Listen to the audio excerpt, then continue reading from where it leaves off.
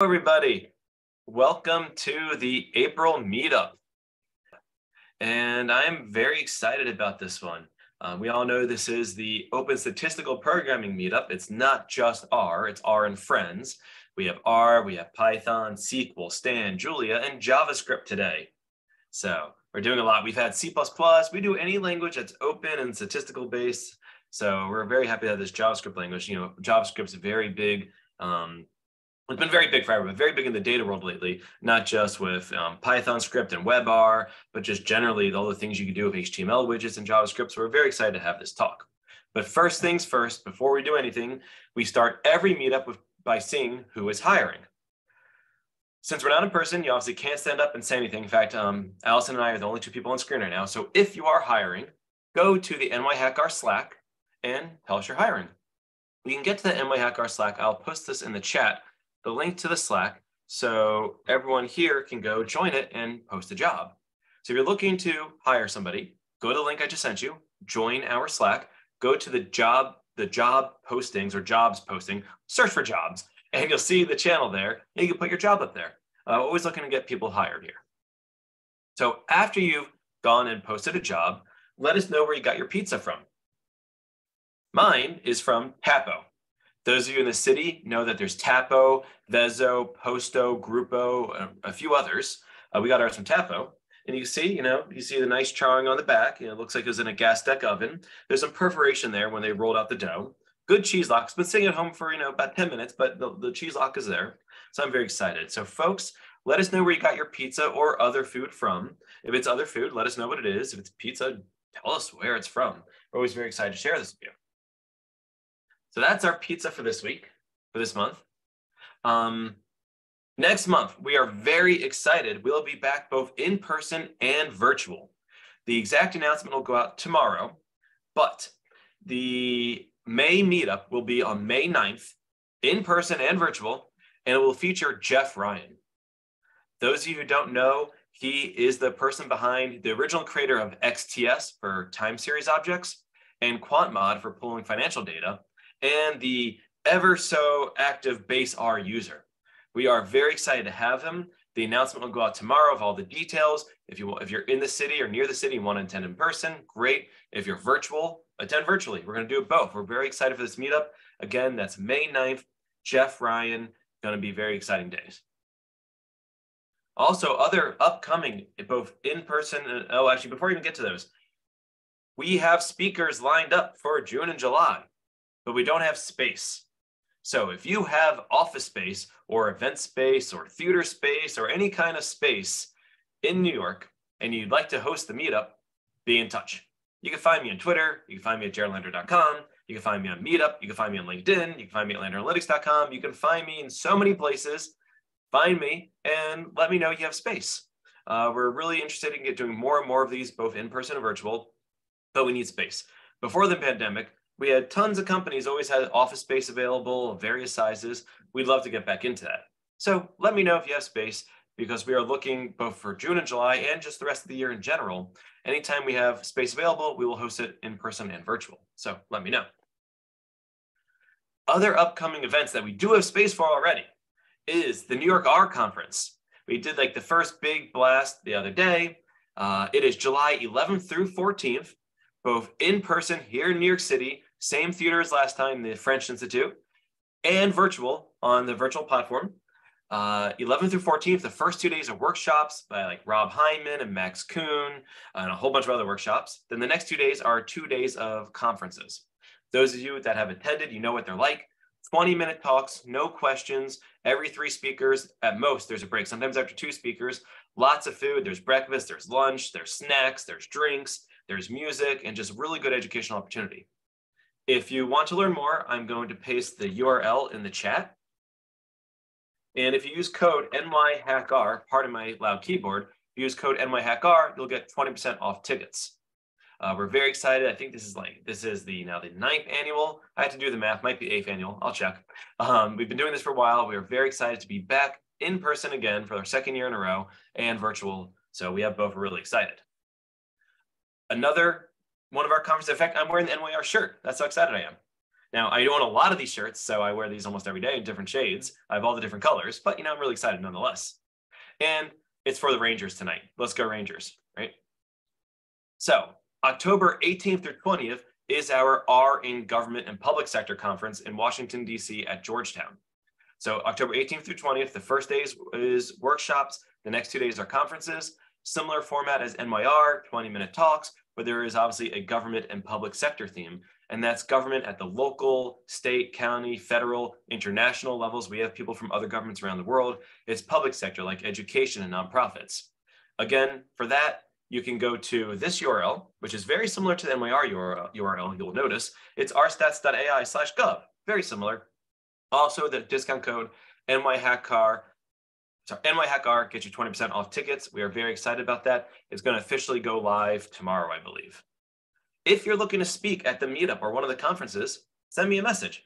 Easy way to get in touch, right? Send me a message. We're always looking for speakers for both the conference and the meetup. And we have one more conference we're helping put on down in Tampa in August. I forgot the dates. I didn't write it down. That's what happens when you don't write it down. But you can go to d4con.io to learn more about that.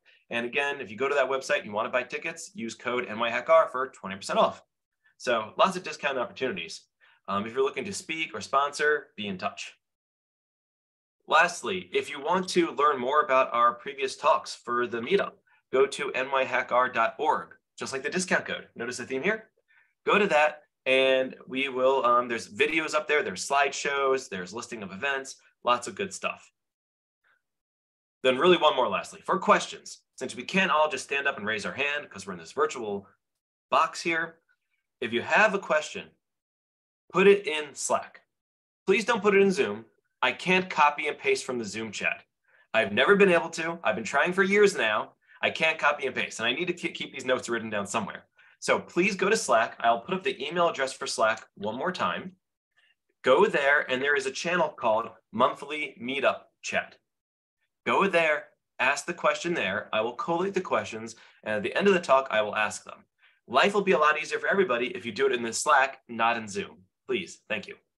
All right, with that, I am very excited for this JavaScript talk.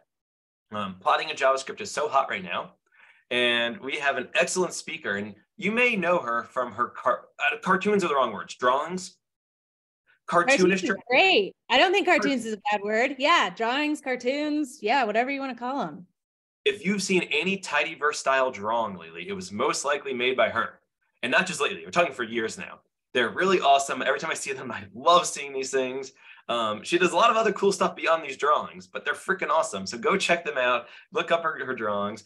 And she's going to give us a talk today about plotting in JavaScript uh, using a grammar. Is it a grammar of graphics is the way we're going to say it? Using grammar graphics, which a lot of you are probably familiar with.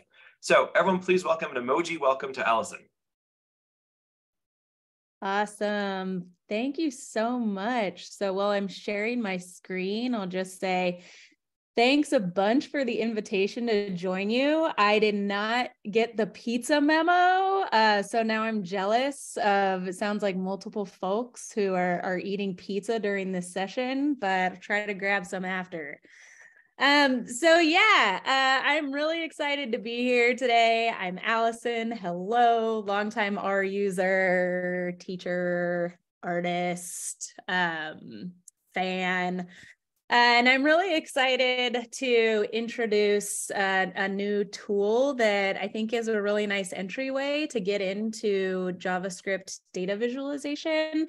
And that's a library called Observable Plot. Um, so I'm going to do, I'm going to walk through some slides, but I'm going to try to get through the slides quickly because what I really want to get to is some uh, interactive coding that we can all do together. Um, and you'll be, you can, if you want, you can either watch as I code or you'll see that you'll be able to write uh, JavaScript code right along with me in a little notebook that we'll be playing with. So I'll start with some slides and, and I'm planning on these only being maybe 10 minutes or so.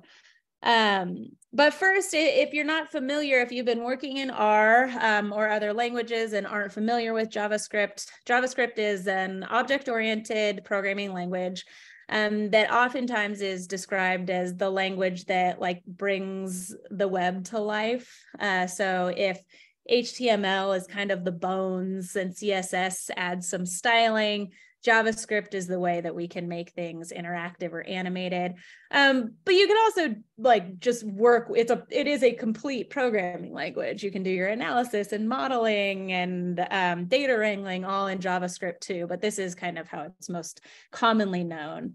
Um, and if you've been working in R or Python uh, to do data visualization, especially interactive data visualization, you might have already actually been using JavaScript under the hood so if you've used packages like Plotly or Highcharter or ggiraph, I love ggiraph.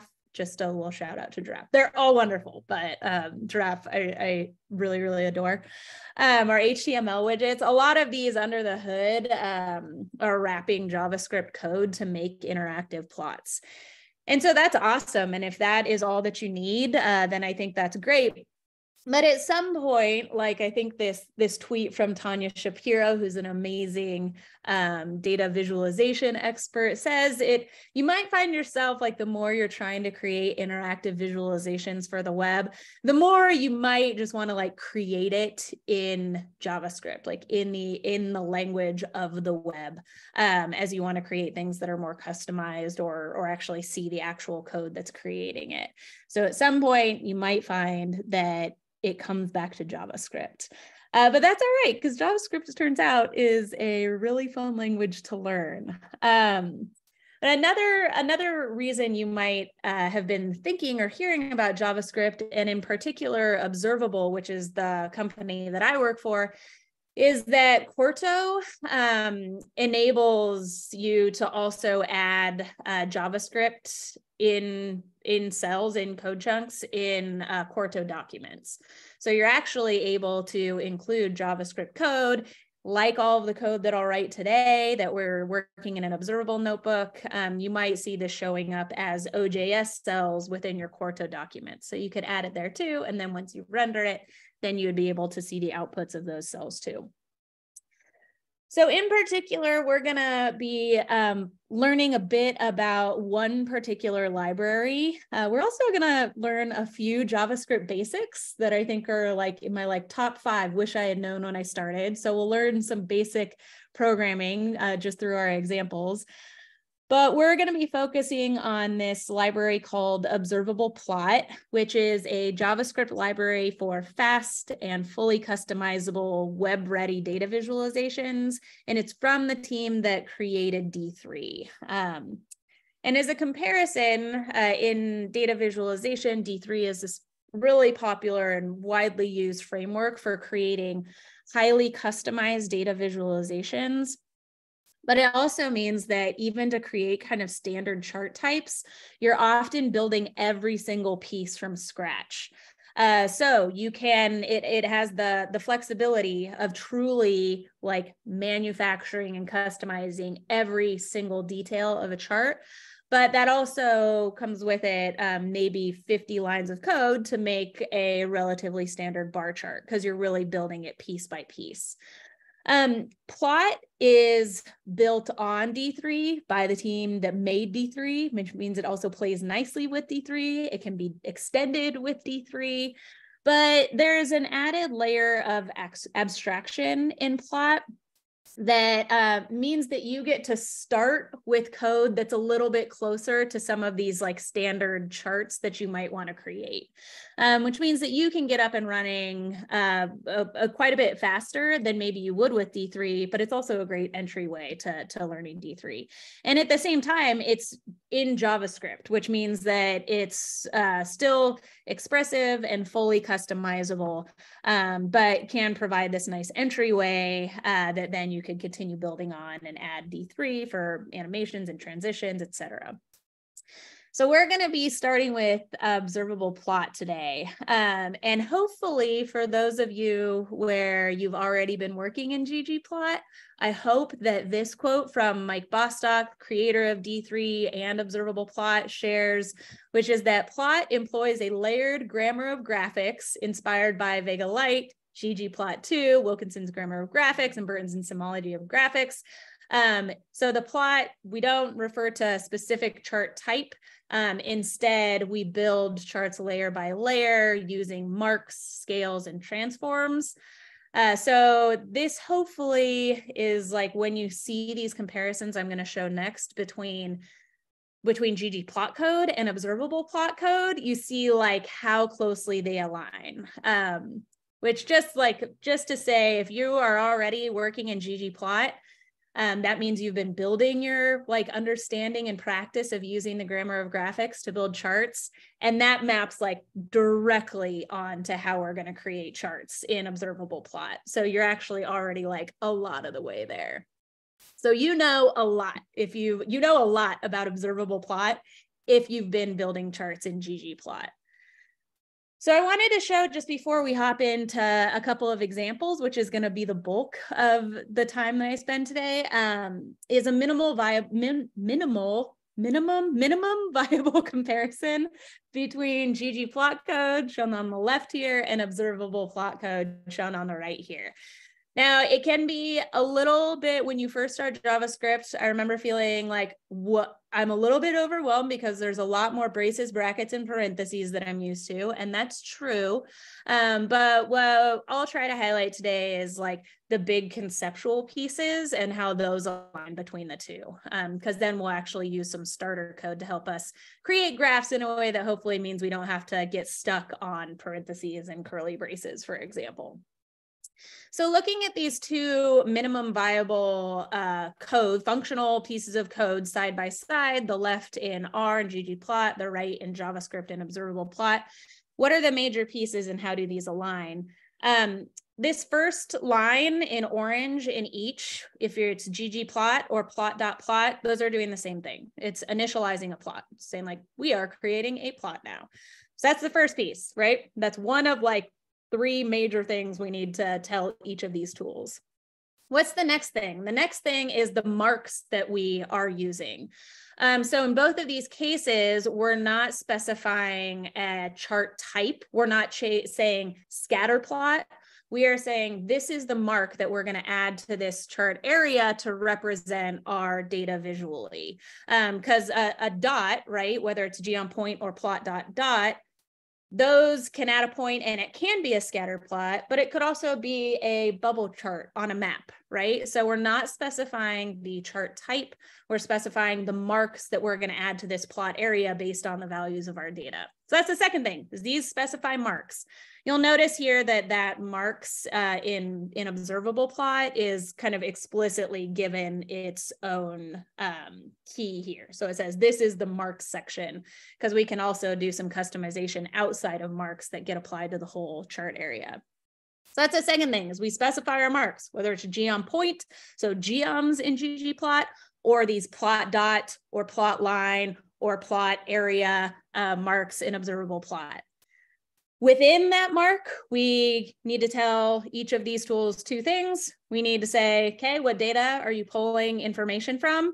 And what are the variables that you're plotting? So how are those, how is data getting mapped um, into this chart space for the X and Y axis?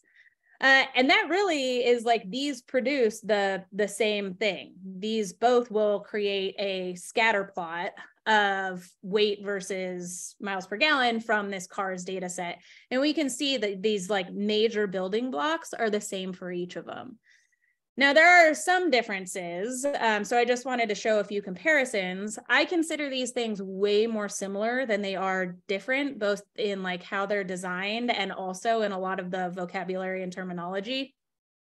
So this is just comparing some kind of common uh, options and marks that you might see. So if I look at the right two columns, if I want to change the fill color of a shape, I use fill in both. But if I want to change the outline color or the line color um, in ggplot, I use color. In observable plot, that's stroke. Uh, if I want to change the size based on a constant or a variable, in ggplot, we usually change the size and in observable plot, we use R for the radius.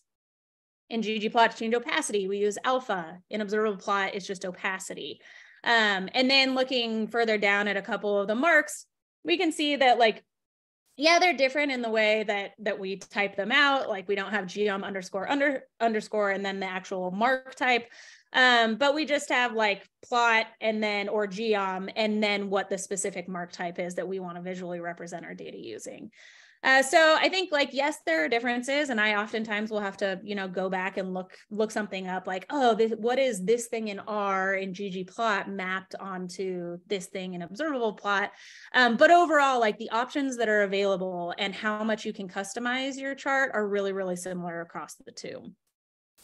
Um, and if you want to check out an interactive side-by-side comparison, and I'll go ahead and drop this in the chat, hopefully copy link address, uh, then you can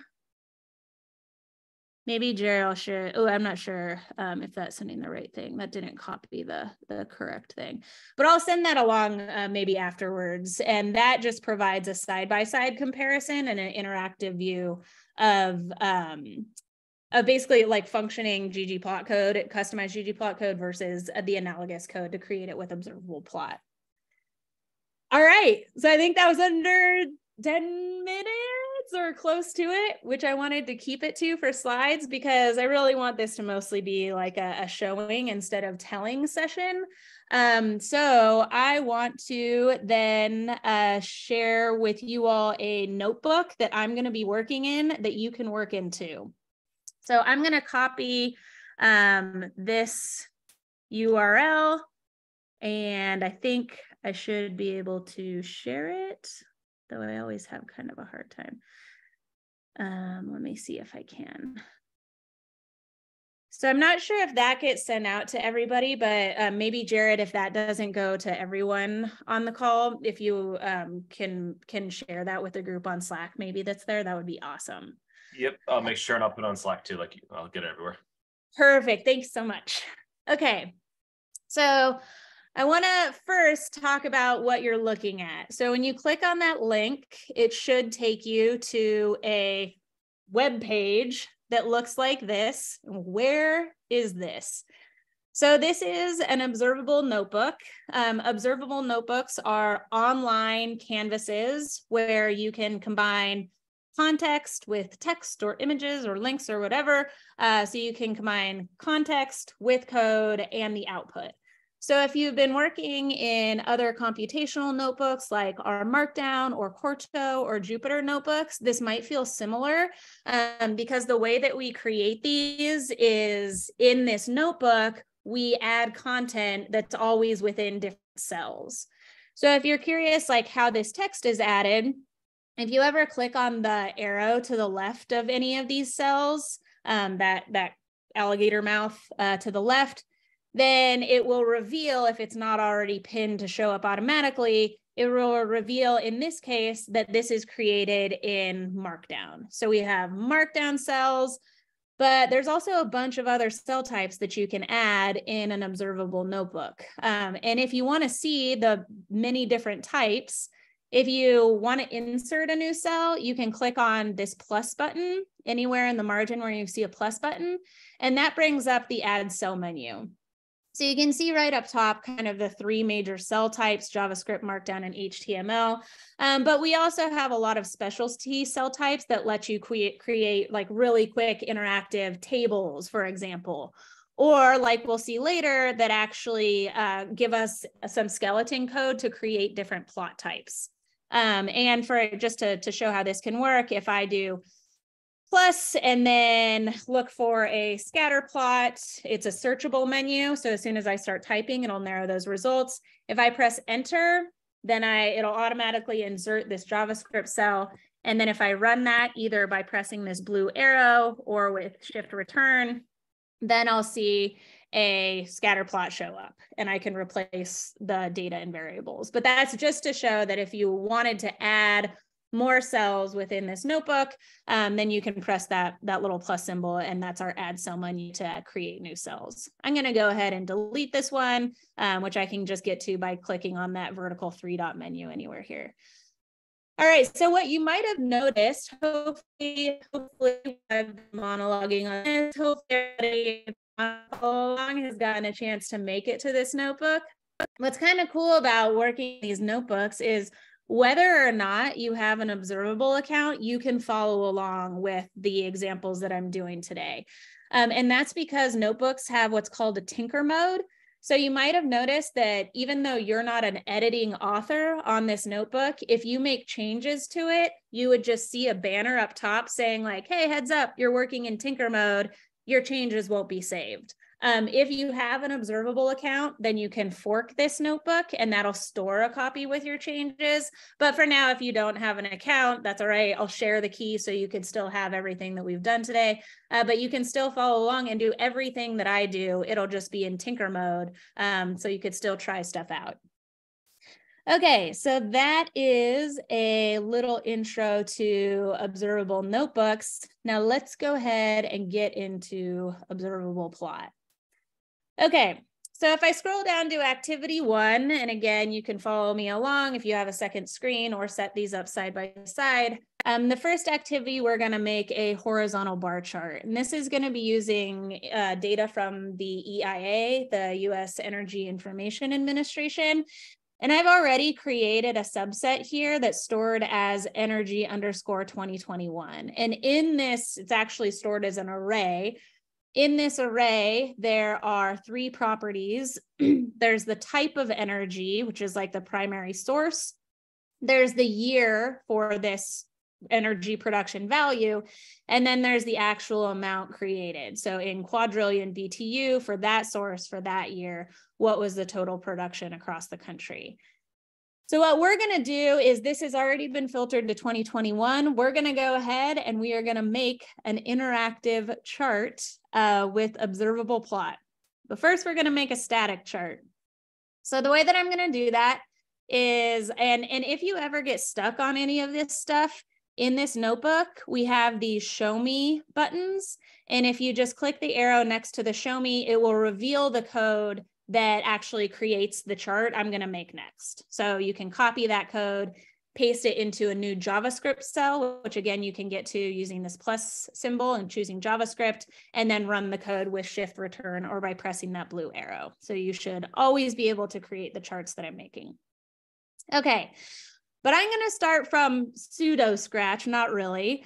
But I'm going to start by clicking on this add cell menu, and then I'm going to start by typing horizontal and because I know that I want to create a horizontal bar chart.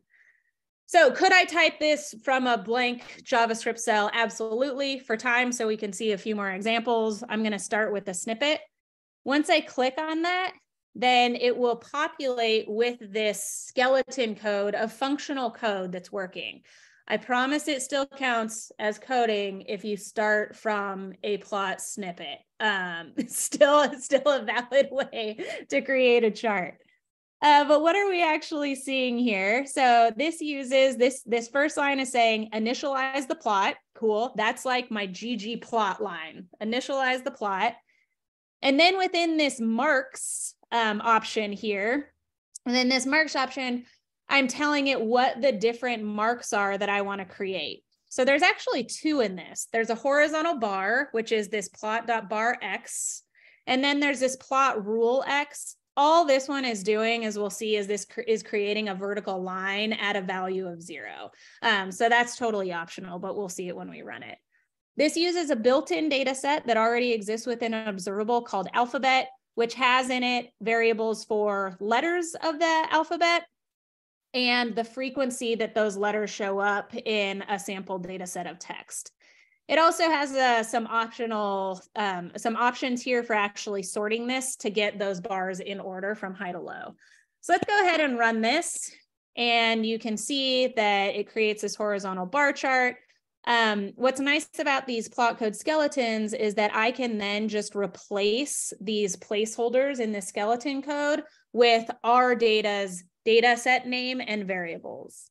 So here, if I then change this to, let me make sure what I called this. Okay, so this is called energy underscore 2021. So I'm going to change this data set. That's the first thing that plot bar X needs to energy 2021. You can use tab completion if you want here. The x-axis is going to be the amount produced each year, which is in quadrillion underscore BTU. That's that variable name or that property key. And then Y, I'm going to have the type. So that's the type of energy. And then if I run this, and again, I can do shift return or press, press that blue arrow button in that cell, then I can see that I have an ordered horizontal bar chart for these different types of energy. One thing that you'll notice is that uh, there's a default margin, but we can customize anything that we would want to here. So oftentimes if you're working in ggplot, those will end up in like a an overarching like theme section of your plot. We're just going to put those right within this uh, plot dot plot section of our code, but outside of the marks section, because this is being applied to the entire chart area. So outside of the marks, if I add a comma, I'll press enter just for vertical organization. I can change my margin left. Notice the camel case here, which you'll see all the time in JavaScript, including throughout observable plot. And I can increase that maybe to like 200 pixels, and then that'll change that left margin. Um, I kind of think about a lot of questions about options the way that I do for ggplot. Like if I'm like, can you change this? Can I change this? Can I change this? The answer is yes. Um, and I just have to find a way to do it. So this is, is fully customizable. Uh, so just to make one more change, I'm going to go ahead and add a fill color as a constant, but up in this mark. So this is going to be a fill that's applied to this plot bar X. So it could be anywhere within here, but I'm going to add it right after Y. I'm going to say I want to make the fill color red. And I could add a, a stroke option. So I could have a stroke. I could change the opacity here using the opacity option, again, ranging from zero to one like it does in ggplot. But for now, we have this static chart that has the constant fill color. Um, but what I want to do is let's quickly make this interactive. For this first one, we're going to be doing something that is like maybe not functionally super valuable, but does highlight kind of the lightweightness of adding interactivity to a chart created with observable plot um, when you're working in JavaScript.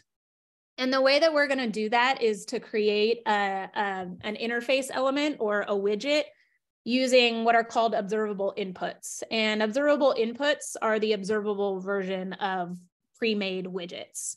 Um, so if I come up here right above my chart, I'm going to create this widget right above this chart. So I'm going to click that add cell menu and I'm going to search for color because I know that there is an existing input that lets you choose a color from a palette and will return the value of a hexadecimal color code. When I select that, then this will automatically create this again code uh, for a default widget. And if I run that, then that widget shows up in my notebook. Uh, this blue pin here means that the actual code is pinned. If I want to hide it, I can always just click on that blue pin and then that won't be shown by default but then I can reveal it again if I want to work there and I can repin it if I want that to always show up by default. So here, what's happening? A couple of important things are happening is first, this creates a new widget. This inputs.color, this creates this specific color widget. But there's also like inputs radio radio buttons and for checkboxes and drop down menus and text inputs and a whole bunch of other things. Um, but here, this is a specific one that lets you choose a color. So you can notice that there's like, you can change the label for it. Maybe I'll say like, pick a color, and that just changes the label that shows up to the left of it. I can change the default value. That's what this value option does here. So here, maybe I'll make this coffee. Um, so that's my terrible default color. But a key here is that when you create an input, that's not only creating the widget, but it's also storing the value of the current selection.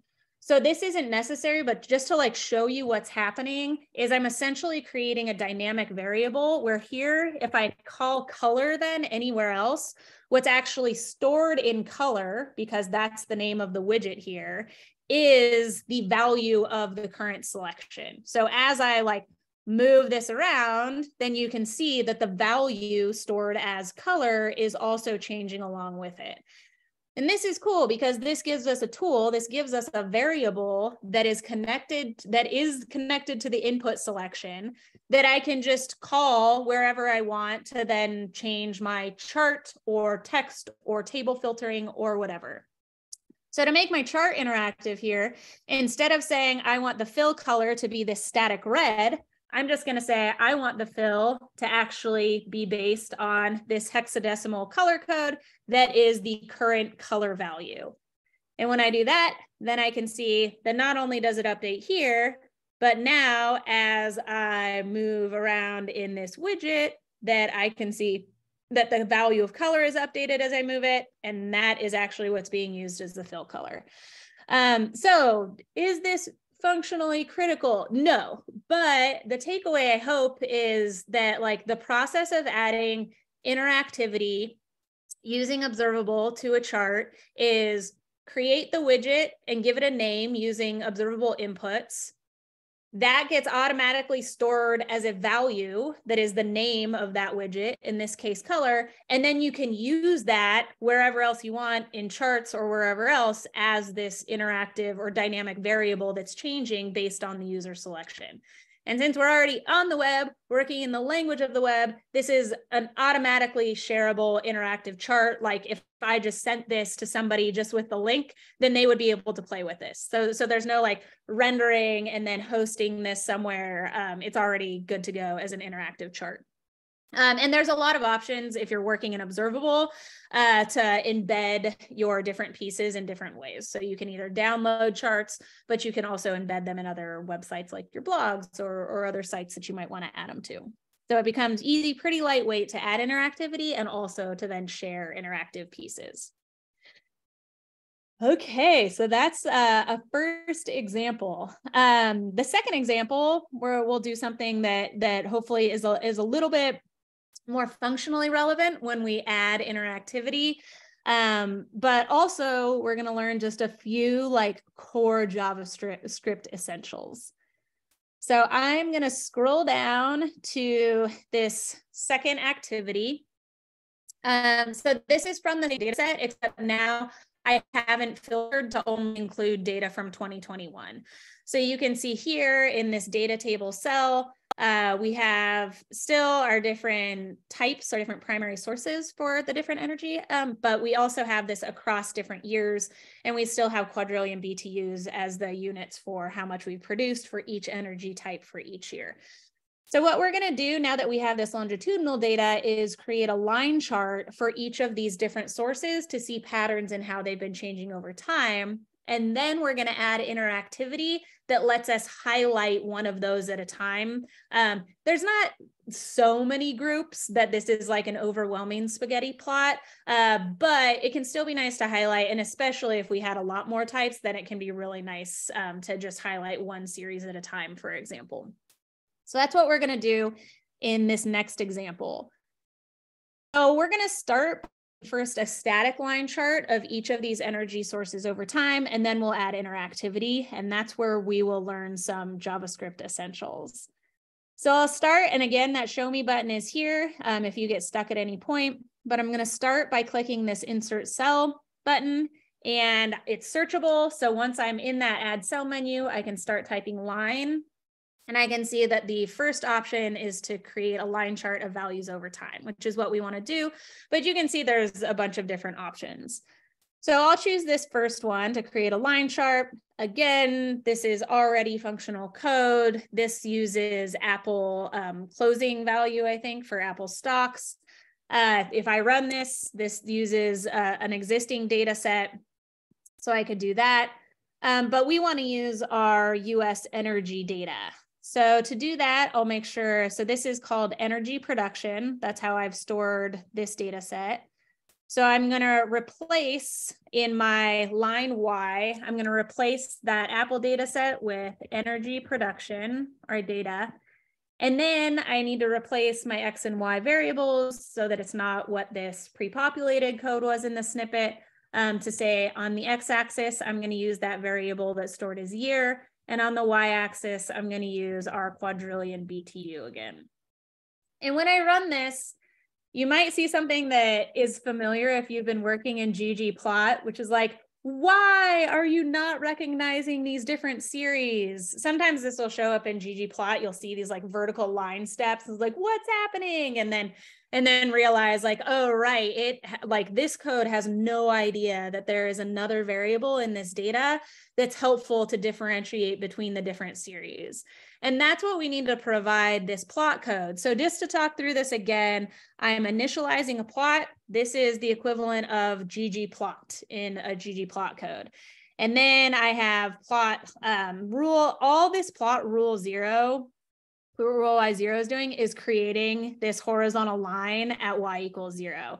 But if I get rid of that, so I'll just comment that out, uh, which in JavaScript is just a double backslash.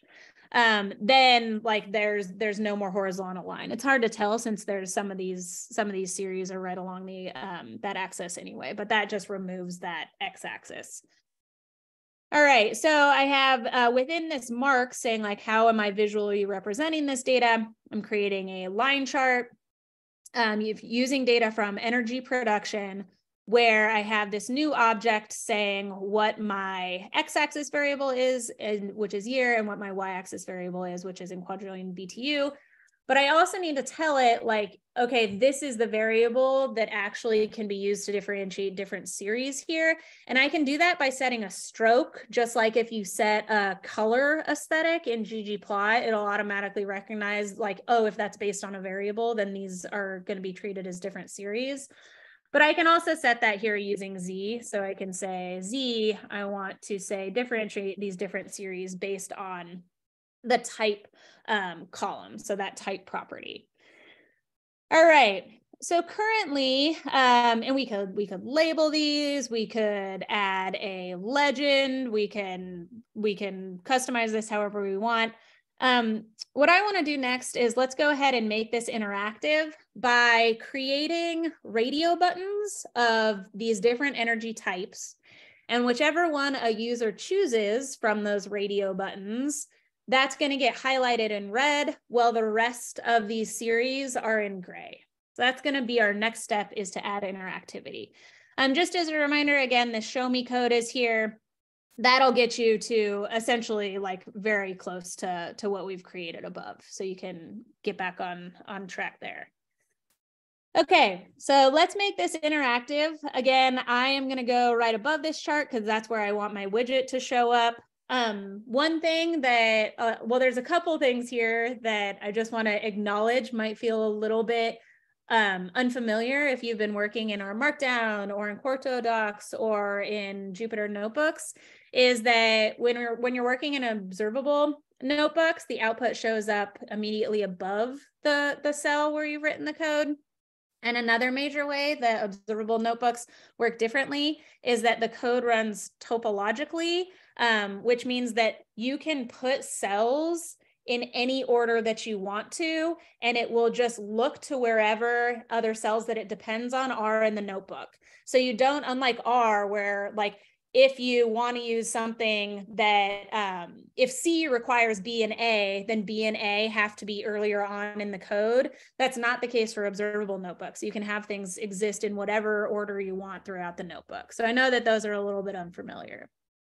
Okay, so let's go ahead and create this new widget. I'm gonna click on this add cell menu again, and I'm gonna start typing radio because that's gonna produce this input. So again, this is called an observable input, which is these like pre-created widgets um, made in JavaScript.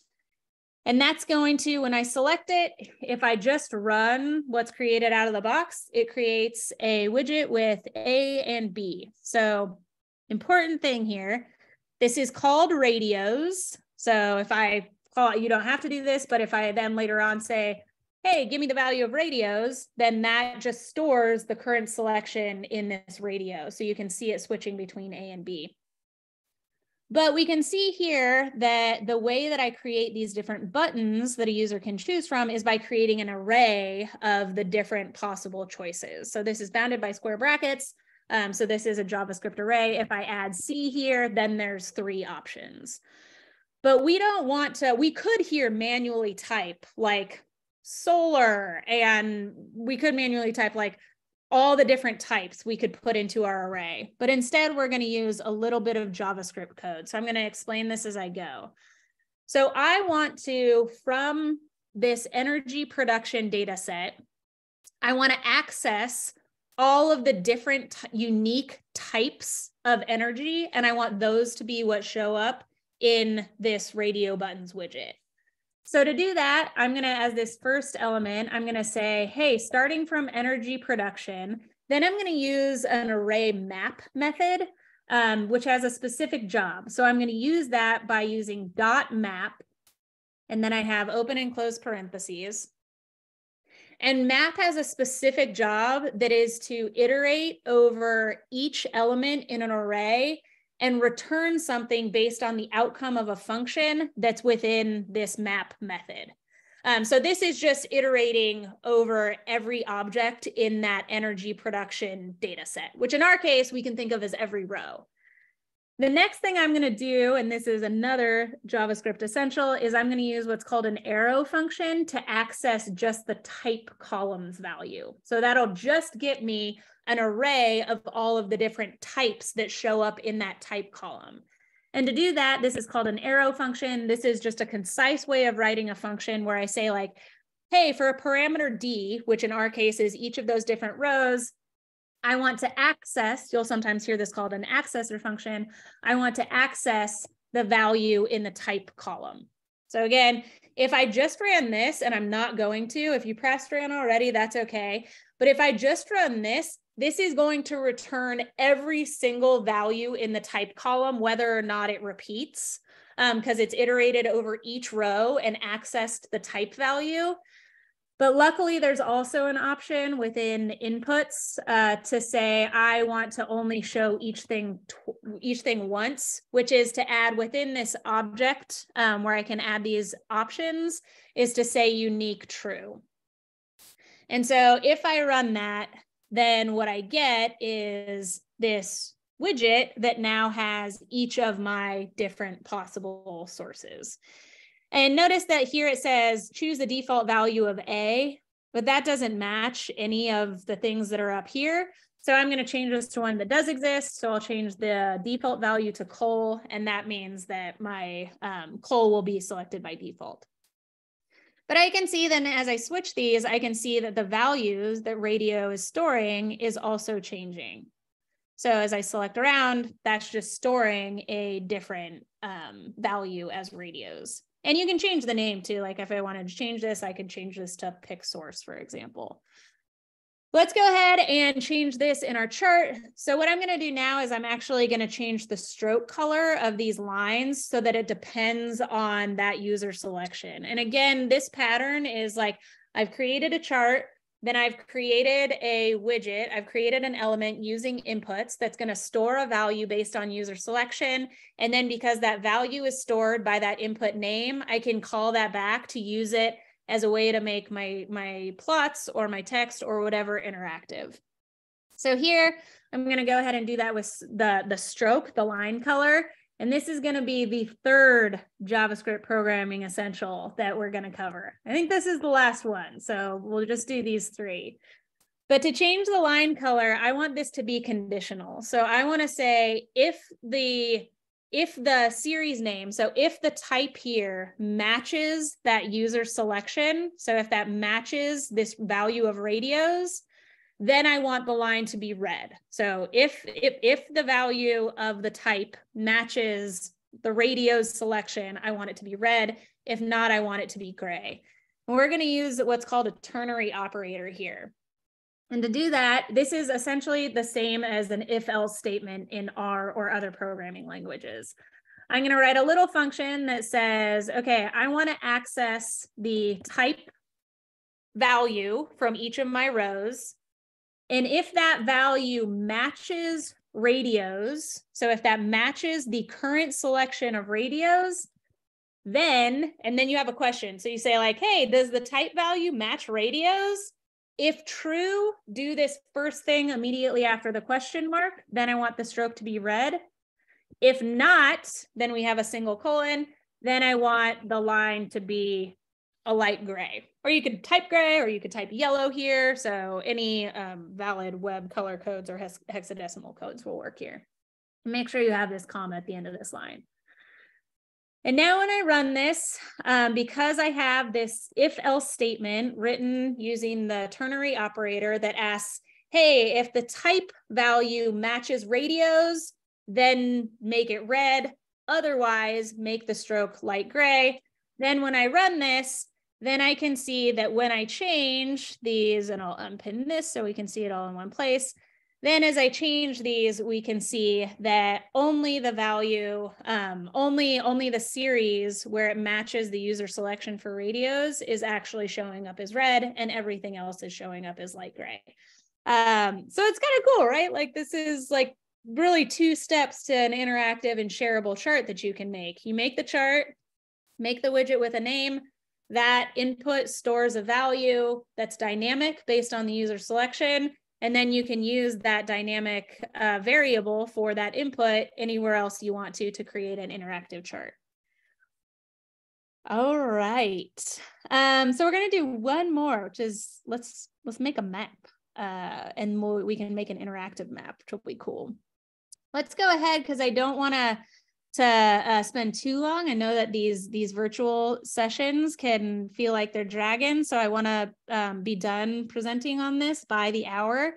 Um, so what I'm going to do is I am going to go ahead and copy this code, and I'll talk through it a little bit. But if you go ahead to the show me code, copy it, create a new JavaScript cell, and then paste it in there, then this code creates a map. So again, all I've done here is I've copied that activity three show me code from the show me option.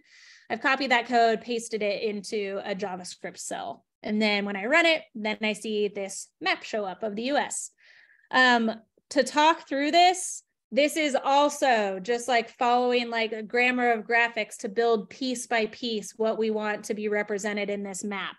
I initialize the plot, the one additional piece with spatial data is letting it, that I am including here, is letting it know how um, this information from a sphere should be mapped onto 2D space. This is using Albers USA, but like I could change this to Mercator. It's not going to be great, but now we have a Mercator projection.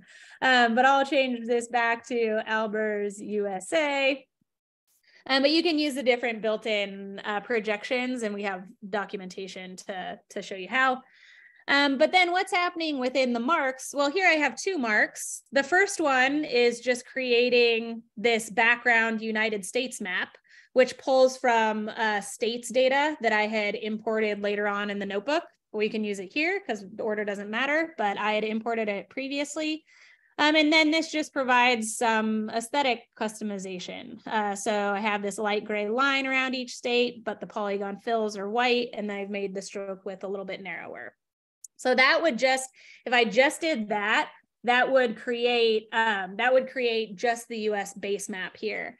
And then on top of that, and again, following the grammar of graphics, on top of that, I'm adding this other mark. I'm adding on top of it, this plot dot dot, which is used to actually create the bubbles. And for a little bit of context, what this is plotting is each of these locations are a different power plant in the United States from this US underscore plants data set that I had already preloaded here. So we have a longitude and latitude for each. We also have the total capacity and the primary source for that plant. So here I have um, what we're showing here is we have each point, the location, the, the centroid of each point is based on the latitude, longitude and latitude for each of those. Uh, but I also have a fill color based on the primary source. So each of these fill colors represents a different plant type. Um, I have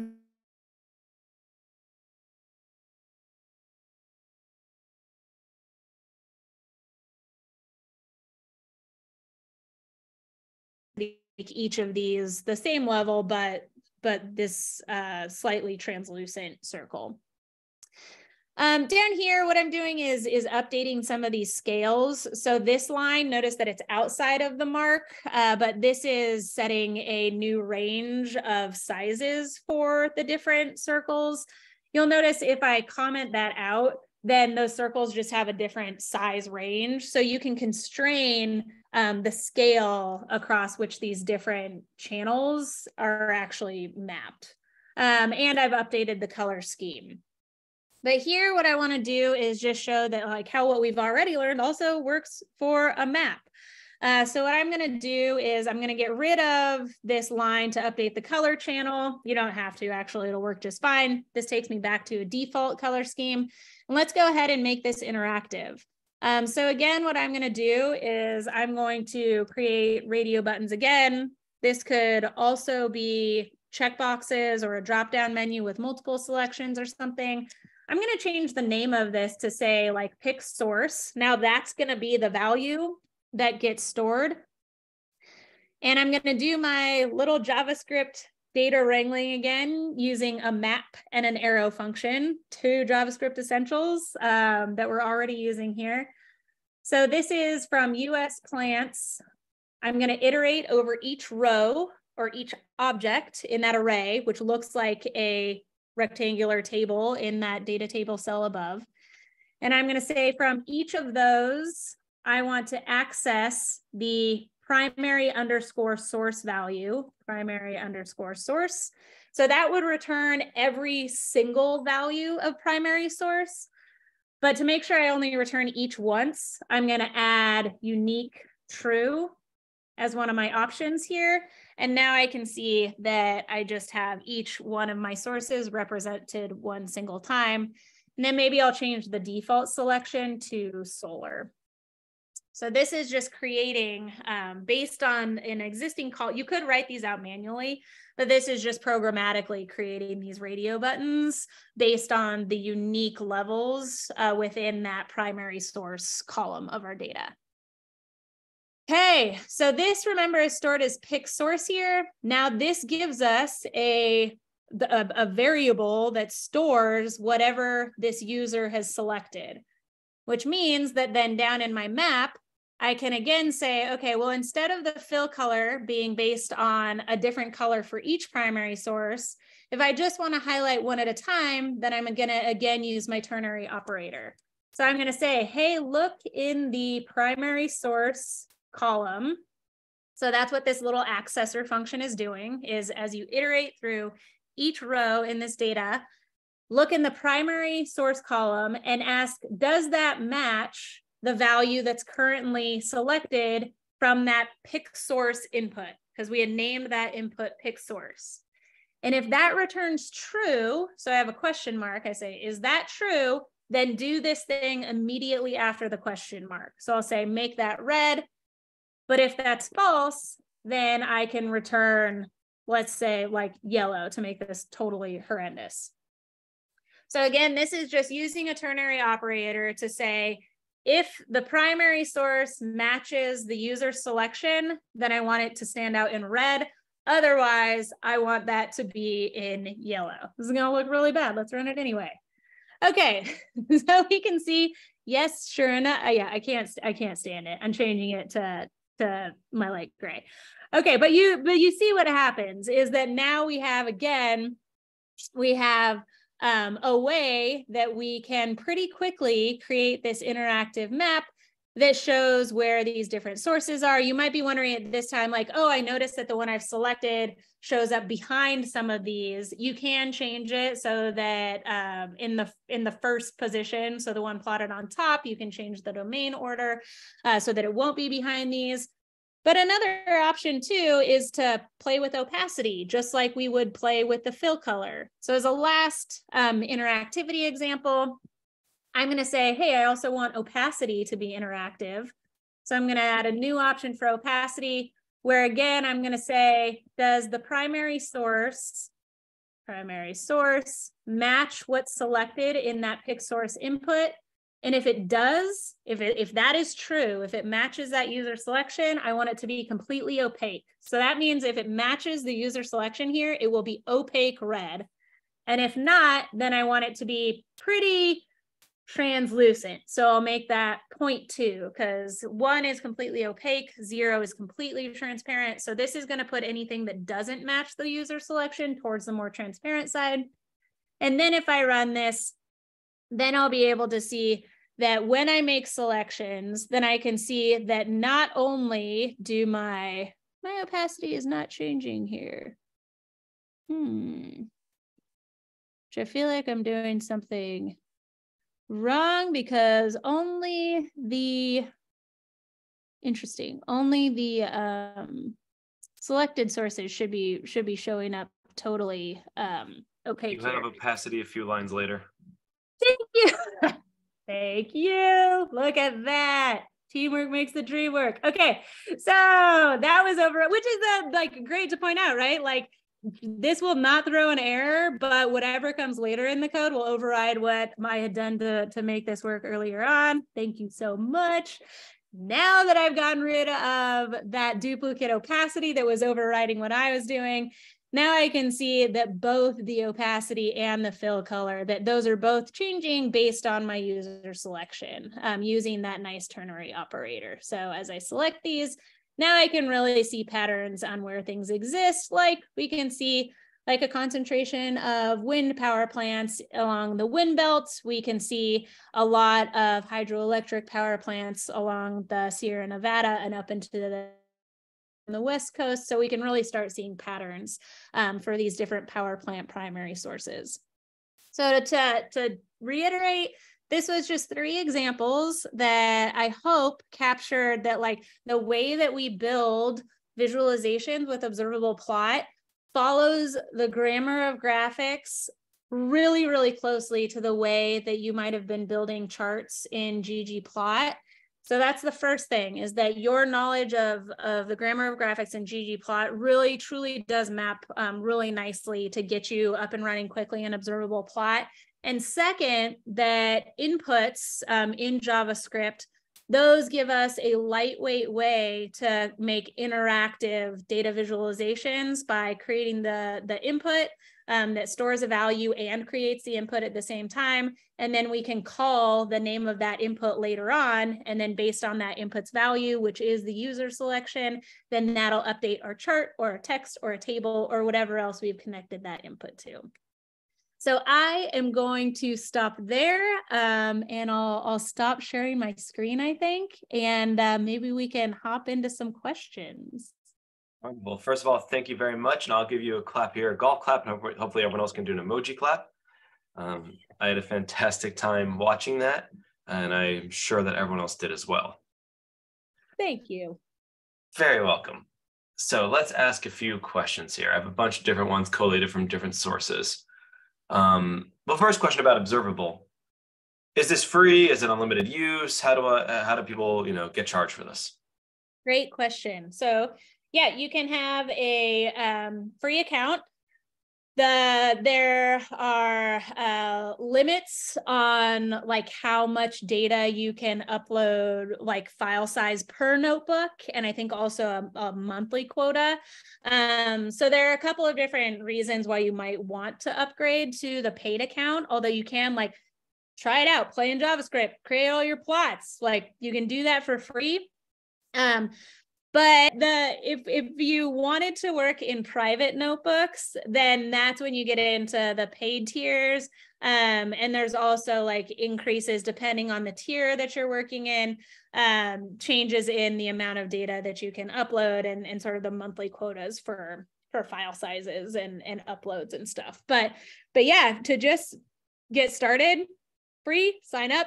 If you're happy working publicly um, then you can absolutely just get started I'll also just add like I spent a lot of years feeling like I needed to learn JavaScript and then I would get immediately too intimidated by like node and console log. it's like I can't uh, this is too much. I'm not a web developer.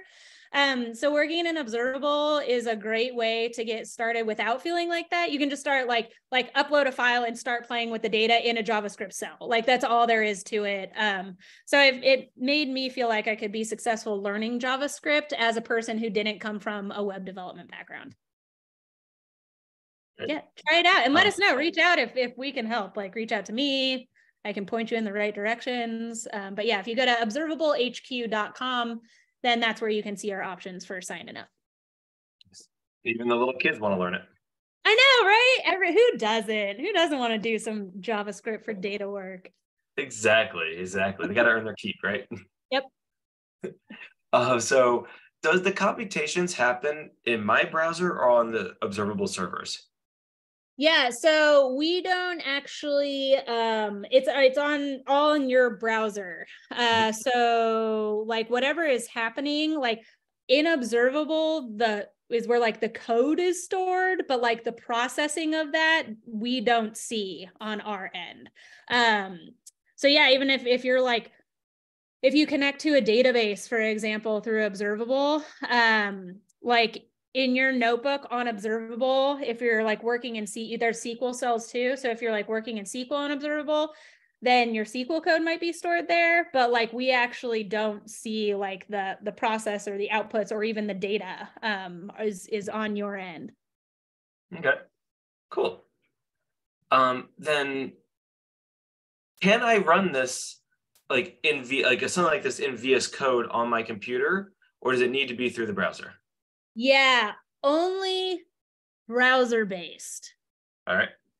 And I don't want to get this wrong, but a way that like I've experienced this that you might notice just in case so nobody gets thrown off is last time I checked and they might have made updates, but like for example, working in RStudio in a Quarto doc, right? Um, working in a QMD, you can add the JavaScript cell, but like when you you can't like run it locally like you can with like an r cell and see the output show up. Um so to, to see the output i think i was like rendering and then once i opened it in the browser you could actually see the the outputs from the ojs cells. So just a heads up if you're if you're trying to in quarto um know that like you're not working in the browser so like you can't see or at least it was like this and if somebody's on the that is has has tried it more recently or knows more, feel please feel free to chime in. But I think even there, you're still like rendering it, but then opening it in the browser is when you can actually see the uh, the outputs of the code that you've added. And a JS cell is different than an OJS cell. I've only ever used an OJS cell. So I have, if there is a if there is a JS cell, then um, yes. yeah, Okay, so yeah, there are, I'll try to find a link. There are ways um, that observable JavaScript differs a little bit from vanilla JavaScript. They're very similar. Like if you learn JavaScript in an observable notebook, then like you are learning JavaScript. Like it is JavaScript. One time I asked Mike Bostock, I was like, is it like JavaScript with some sprinkles? And he said, that's about as close as you're going to get. so, so right. you think of it as like JavaScript with sprinkles. Um, but we have this notebook uh, that I'll share that describes um, the difference between them, and they're they're pretty minimal, um, and a lot of them are related to um, changes that were made so that the reactive runtime that observable uses actually works including that like cells can be out of order when you run them. So um, so there's a link yeah if if you want to share that that kind of describes those minimal differences between vanilla javascript and uh, the uh, javascript with sprinkles that is observable javascript. Okay. Sticking the whole quarto javascript thread here um, if I have a R data frame, or for that matter, a pandas data frame, can I plot that in the OJS cell? Yes, but it needs to go through. And again, last I checked, and things are changing quickly. So, do like things might have changed um, since then. Um, but you use a function um, OJS underscore define. I think I think that's what it is uh, to actually convert your um, R object into an object that is understood by observable plot, for example. Uh, so you can work between the two, but it's like one step to make something that you created like a data frame in R available for use in an OJS cell. Yeah, and I think it's OJS underscore define, um, but I know it's in the Quarto docs how how you can work between the two. And that sounds like an R function, not a JavaScript function. Yeah. Yep. So it's in your R cell where that happens. Yeah. Okay. Cool. So let's say you say like my DF gets OJS underscore defined mtcars. Then in JavaScript, you would reference it as my DF. Yep. uh, yeah, exactly. Then that's what you could use in your OJS cell. There is one other step that for me I found, um, and actually I can share a, another example too. Um, so I'll, I'll share an example that uh, uh, as I'm sharing it, I'm like, why are you sharing this? But that's fine. Um, so this uh, is a post that I did um, that has some like optical character recognition and data wrangling in R and then passes that into some OJS cells. So this entire post is made in a Quarto document for my site. And yeah, if you scroll down, you'll see like it's all R, R, R, R, R. And then you get to a point um, where down where it says viz those bird, this is a fake data set on bird attacks. Um, anyway, but then you see where I use OJS define to actually uh, make these usable uh, in cells, And then there's a second step, which isn't technically mandatory, but for my brain, it was a little bit easier, which was to transpose that data. Because um, sometimes, like, they're under the hood, like, it is it is a bit different. Like if we think about variables in data frames and columns in mm-hmm. array those are objects. So so it's it, it's a little bit different. So you can transpose although i show both ways in that post. Um, phil who's on our team he's like oh you don't actually have to transpose it to use it in plot so there's there's both examples there so i imagine it's because it, it's so by default if you move it from r to javascript it's going to be column wise but when you mm-hmm. transpose it you make it row wise mm-hmm. yeah exactly okay Yep. Cool. and somewhere Wes McKinney is crying you're not using a column-based data store. yeah. Well, I think I think Phil like Phil truly was like, okay, so Phil here in in this comment. So I'll just read this because I also was confused. So I'll try to follow up about this too, so I don't break any hearts. Because when I first posted this, I was like, oh, like my my my column loving heart hurts that I have to transpose this. And then Phil's like, no, no, no, actually, you don't. Like, don't have a broken heart. It can accept untransposed data. Um, you just have to like specify the variables in a slightly different way within plot to account for that. But you absolutely can use it. Um, just depends on, I, I guess, your preference for for which way you do it. Vanilla JavaScript using the map might not work because that's mapping over an array of objects, yep. and that might not like going over a column Yep. even though memory wise it'd be better. But hey, all right, what are we gonna do? right. Cool. All right. So then some specifics about the types of plots. So you, you talked about a legend. Can the legend be generated automatically? If you say fill equals a column name, can it automatically generate the legend? All right. Yeah, absolutely. So um, maybe I'll just show an example. So yeah. um, if that works. So let me go back to this line chart um, and I'm going to change it back from my static, from my dynamic version. And I'm going to say I want the stroke to actually be based on type. Um, ggplot and add a comma. Ggplot by default does add a legend when you specify, when you map a, a variable to an aesthetic. Um, in plot, that's not the default. So we just have to like manually specify that. So here I'll just say for the color channel, I'm going to make sure to override the legend false setting, um, and then I can have a legend show up. And you can customize this, you can customize the swatches, you can change the color scheme like you would expect to, you can change the layout of it. Um, so absolutely, you can add legends based on variables mapped to chart aesthetics. And like Plotly can make it so you can click on the legend to filter out what's in the chart? Ooh, can you click on the legend? Not that I know of. That's a great question. Um, what you could do is make a, a custom input where like the swatch is just part of the checkbox, like the color swatch that that then could be used to select the different options. Um, so you could make a custom one, which is kind of a nice thing about working in JavaScript is kind of like ideal for making those lightweight interactive things. Yeah.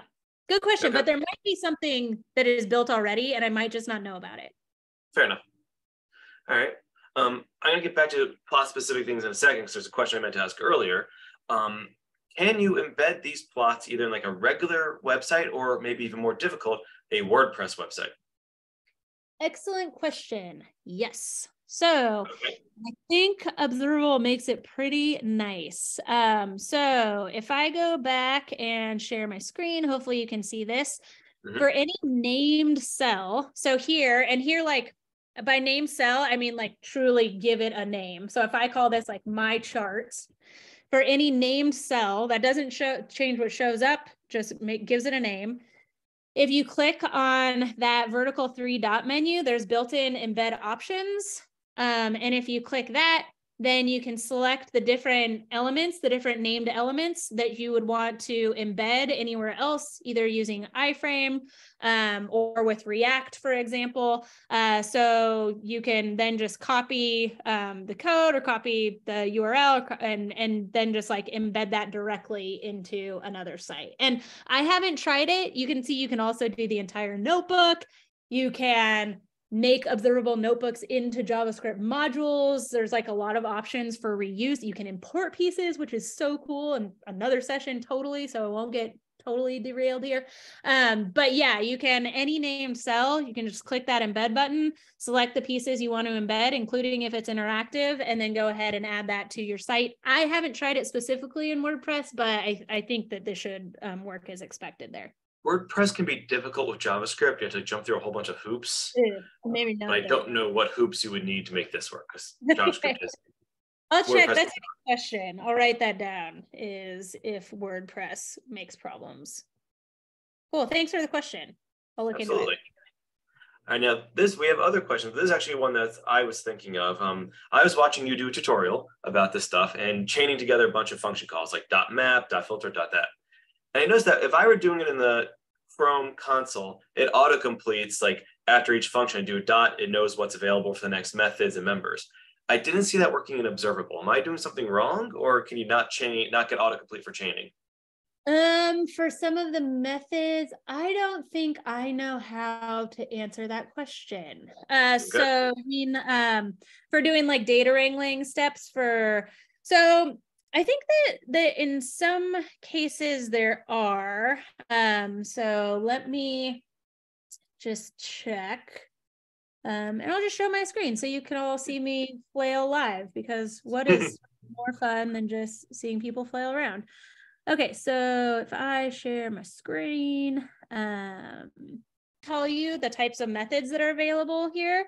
Um, so like like map comes up here, and then I could do my map of D of whatever D um but I notice here like so here it's giving me um autofill options for what I could populate after this, but maybe since this isn't like a recognized array, then it's not automatically bringing up the array functions or the array methods.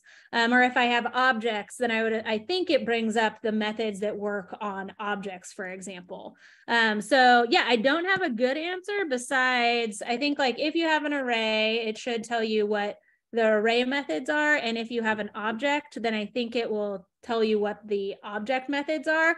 Um, but beyond that, I'm not exactly sure what the, the different limitations are for like the um, preview of what's available. Because um, maybe it, maybe for some of those, like an accessor function, it, it doesn't make a prediction about what it's expecting. But yeah, great question let's say you did map. Let's say, and I know that you can't do D dot column name.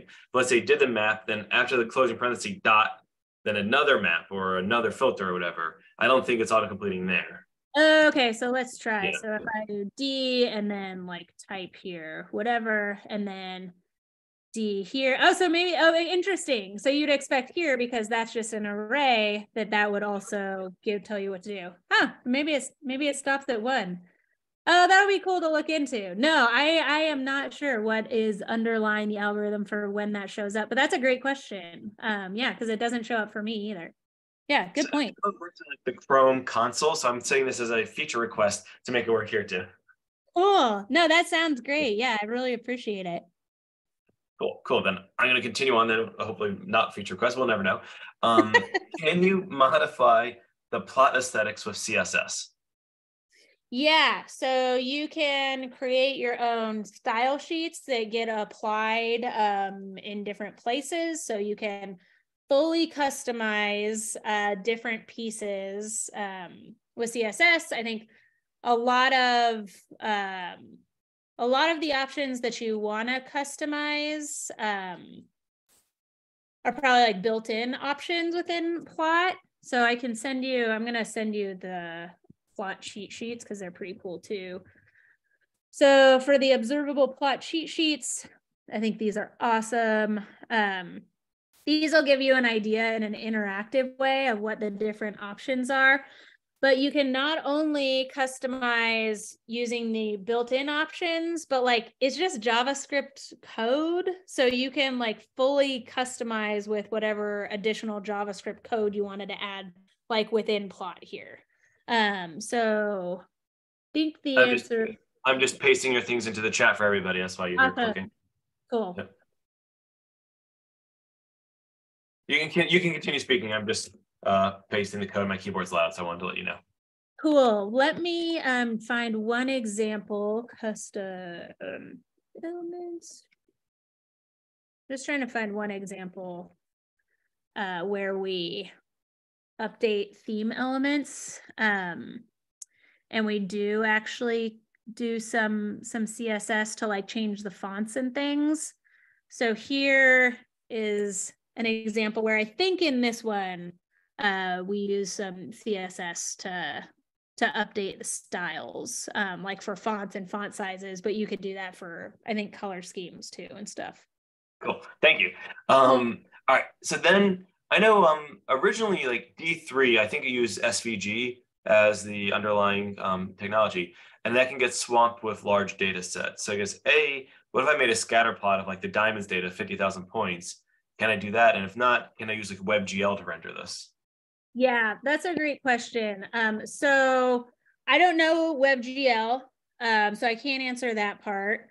Um, usually I've found that plot does all right up to around like 80,000 points. Okay. Um, after that, I've noticed sometimes it gets a little bogged down and I might just get like a spinning wheel. Uh, okay.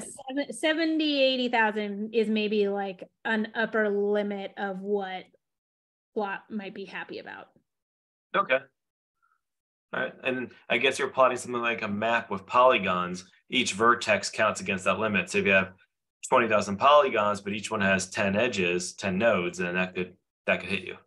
It could, yeah. I think okay. I haven't tried it. I haven't tried it. I think like most of the like base maps I've been using, um, which I think is, is kind of nice for for a lot of like the standard base maps. Observable already has those built in, so they're like like pretty nice shapes, but also not going to bog it down. So there's like a world map, US map. You can get the counties from that.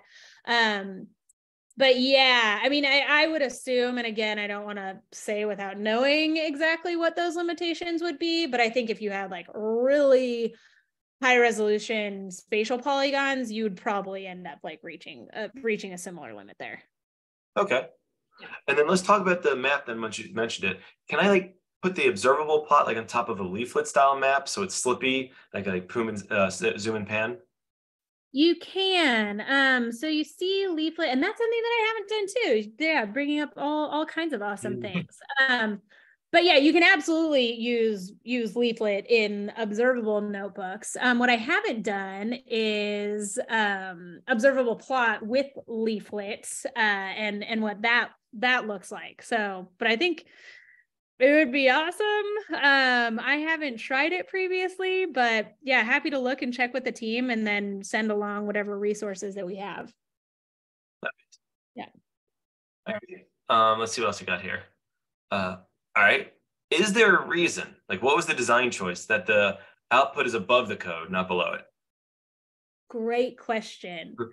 Um, so I don't want to speak for anybody else at the observable team um, who have been like very intentional about like designing the product and and so I think there's like um, documentation that speaks to this. Um, but what I will share is that it's kind of a, a, a shift in mentality that like the priority in notebooks is going to be the outputs and people getting insights from the outputs. And then secondary to that is see the code if you want to. Um, and I think that's just not that that's not possible by having like a hidden code chunk and then only the uh, the output show up. But I think it it like shows the intentionality of like the prioritization of the output that people are going to see first with the code that's created that you would see below and not the other way around. Um, I think both work really well. I think it's like mostly was like a, an adjustment. I was like, I have never seen this before. My output is always immediately behind my code. And uh, now I don't even think about it. I'm like, oh, of course, of course, that's where it shows up. But it definitely was a little bit of a surprise when when I first saw things showing up above the cells I was writing in. Yeah, threw me for, for a while too. I kept watching, like, what is this going on here? Then event when when actually I heard you say it one time, like, okay, now it makes sense. I know what's going on. All right, cool. Um, in your columns, you mention them when you do marks, you give them as quotations, not bare names. So not like ggplot, right? How do you take the log of a column if the column is in quotes? Yeah, so you can do it a couple of different ways. Um, so you can actually do transforms right within observable plot. So instead of, for example, like like um, X quadrillion BTUs, if I wanted to transform that, I would just use my accessor notation. I could do like D arrow function D dot quadrillion BTUs divided by a thousand or something. So I can like add JavaScript code to access and transform a variable right within my plot code. Um, so that's one way. So if you want to actually transform the value of the variables and plot that, you can do it outside of your plot code. You can do it within the plot code with a with an accessor function to transform that. Um, but you can also actually just change the scale that's visually plotted so like if I change, um, I'll just just show this one. For example, here, if I wanted to make the y-axis a log scale, then I could add here just like type and then add log here. Um, so I could put it visually on a log scale. That's not actually transforming the data. Um, or I could do within this Y channel, I could do like D, D, and then say like two D quadrillion BTU, and then whatever the D3 probably function is to transform this to, I don't know if it's like D3 log or something. I'm guessing that's not it. But however I wanted to transform that, I could do that right in that Y channel. Um, okay. So either one of those, or do it outside of plot and then use the updated transform data. Um, so I think there's a couple of different ways to transform data, either like actually transform or visually show transform scales. All right. While you have your browser still sharing, uh, um, how would you make a hover tooltip over that line chart? Could you hover over it and? Absolutely. So if I wanted to add that, um, the way that I have added it here, and again, I will share my screen, is um, there is in observable, one really cool thing that like, this is a great question to highlight this, is any notebook that you can see, that you have access to, you can access pieces from it, like functions or charts or whatever, or arrays of data using what's called an import. So the way that I think about this is like imagine if any R markdown notebook you looked at, you were like, oh, I wish I could use that function.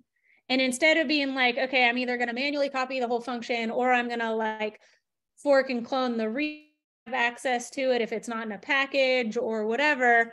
Instead, you just use this import and then you tell it what named thing from any other visible notebook in the observable multiverse of tens of thousands more than that notebooks exist. So this is a cell called add tooltips from Mike Freeman's plot tooltip code. Um, and I can then just use that. So this one, this function that Mike created, uh, you can go ahead and wrap around a your plot code. So I can just do add tooltips around my entire plot code. And then if I give my, I'm going to get rid of this log scale because that's just going to drive me up the wall. Um, then what I can do is if I add a title channel uh, then this will create the tooltip. So if I just do like title and then, um, I don't know, let's see what, what happens here. Nope, that's not gonna work. Uh, I might have to look up Mike's code here because there's something interesting um, about how these are created. Hold, us, hold on a second. And this is Mike Freeman, uh, formerly of UW, right? Yes, Mike. Uh, yeah. So yeah, and who does a ton of awesome data visualization. Um, so here, great book. Uh, you know the program. I haven't read about the program skills. R, yes, exactly. Yes. Mike Freeman yep. has written a book in R, so he's another who's yep. also is is a background in R. But here, yep. for example, I have this title now um, where I can customize this. So I can say these are uh, template literals, which means that I can have running JavaScript code within a string. So I can say, I want this to start with the type and then um, have quadrillion BTUs since it's wrapped in add tooltips. Then when I hover over these, then I can see that those would show up over that. And there's in Mike's notebook different options for applying tooltips over um, all of the plots in your all of the plots in your notebook or just one, which I've done here by wrapping this one. Nice. Yeah. Great. That seems like a nice, easy way to do it. Um, just one or two more, because I know we are going a little long. Um, when you made your bar chart, it was like you had to specify like the y-axis, or in this case, the x since was horizontal. You know, geom_bar and ggplot can count for you. You give it a discrete x, it'll count for you. Can you do that here? Yeah. So the way that you do that is um, you can specify groupings or binnings. So for example, if I had, um, and I was just making an example of this earlier today, so I wonder if I still have it up, but like, of course I don't. Um, but yeah, actually, I'm just gonna, I'm just gonna show this one great. Okay, I did kind of have this up.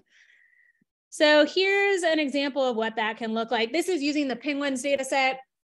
So here I'm making a bar chart, um, but you can also designate how you want to group things and then give it a reducing function. So here I'm saying I want to group along like the x-axis variable, which here is by species. Um, this is doing some sorting, but that's optional. So I'm just going to get rid of that so that it doesn't like cause confusion about what we're actually looking at here. So this is like the, the meat of this chart, right? From the penguin data, um, I have on the x-axis species, on the y-axis body mass, but I'm also gonna group by the variables along the x-axis. And within those groups, I'm gonna apply a reducer to the y-axis variable. Um, so here the reducer is mean, but I could also change this to count or or sum or median or deviation. And these are all like D3 methods, but there's a whole bunch of functions that you could apply to actually um, do these aggregated summary statistics by group within your charts. Oh yeah, somewhere in there, your plot, let's say you're setting the color to red. How do you mm-hmm. distinguish between the color red and a column named red? Oh, great question. I just learned this. Awesome question. If there's a column named red, then it will mm-hmm. treat it as the variable. That's what will that that's what it will select. Okay. So if you're in that unique position where there is like a, a web valid color name that matches a variable in your data set, it'll default to the variable or the property in your data. Um, so you'd want to use a hexadecimal color code instead for red so that it wouldn't get those confused. Got it. Perfect. Great question. All right. And then, all right. So then another one, some, I see still more typing. Um, uh, for the radio, you know, like if, let's say you're doing it by based on like a, uh, an array, can you say choose the first one as the default? Because you might not know coal was the first one. Uh, ooh, good. So just choose the first one. Let me see. So I think what you could do is just, um, there's a couple things that you could do. You could use set. I'm just like brainstorming out loud, which is probably a bad idea for Allison with JavaScript, but whatever. One thing that comes to mind is that you could create a new set of all of the unique values that show up in that property um, using actually like new set as a method, and then just access the first element of that array. Just do like square bracket zero to get the first value. Um, so I think that might be one way. I wonder if you could just do like values. It's probably now that I'm thinking about it, I'm like, I wonder if they have just made my life way easier. I'm gonna check if I could do value like value zero. That didn't work. So value that also didn't work. Um, but what you could do, actually, maybe the easiest thing is to just um, so here's I'll I'll put this in chat, but like for the for the energy production, that line chart one is just to like regurgitate the map that gets each of the different levels and then access the first element of that just with square bracket zero, and that'll get you the first thing from that array. So there might be sense. a more elegant way, but like that one makes sense to me and it works. Oh, cool. That makes sense. all right, cool. Um, all right, then all right, just give a yes or no, then we'll let you go. Um, can you make animated maps? Uh, yeah. So you can use scrubbers that will automatically play, that you can pause. Um, so definitely look up. Um, there's examples of scrubbers that you can import that will automatically play through your different visualizations. Absolutely. Great. Awesome. Thank you. Um, yep. And Joyce did finish typing, but was actually saying great talk and that they love that you introduced JavaScript to map and arrow instead of loops because you know we're not into that in our in our community. Yeah, they're nice, right? I when I first yeah. saw them, I was like, "What is happening, JavaScript? Why are you doing this to me?" And now I'm like, I love map and I love ternary operators and I love arrow functions. Um, so yeah, I I now appreciate some of the JavaScript specific things. What's that? the three equal signs. yeah, yeah, yeah. The strict equality operator. That's another one where I'm like, you know what? I've come to appreciate you um, nice. over these last few months. Yeah. Nice. Good. Good. Well, thank you very much, everyone. Let's get a round of emoji applause for our wonderful speaker this time. Um, I really got a lot of that out of this. Hope everyone else did. Uh, and then just as you wrap up, a few reminders. So again, the New York R Conference is July 11th through 14th. Um, and discount code NYHackR. The R government conference, which we're announcing tomorrow, is October 18th through 20. The D4 conference is August. I don't have the dates because I did not write it down. NYHackR is the code for all of those. The websites are rstats.ai or d4con.io. And our next meetup is May 9th with Jeff Ryan, and we need space for June and July and onwards, and speakers beyond that. So let us know if you want to attend the conference. Let us know if you want to host the meetup. Let us know if you want to speak at the conference or the meetup. All right, all that. I think I had a wonderful time. I know I had a wonderful time. I think that was all of our announcements. Thank you very much, Allison. It's been a pleasure having you here, and I look forward to using all this. Thank you very much. Thank you. That was super fun. Thanks, everybody. Bye.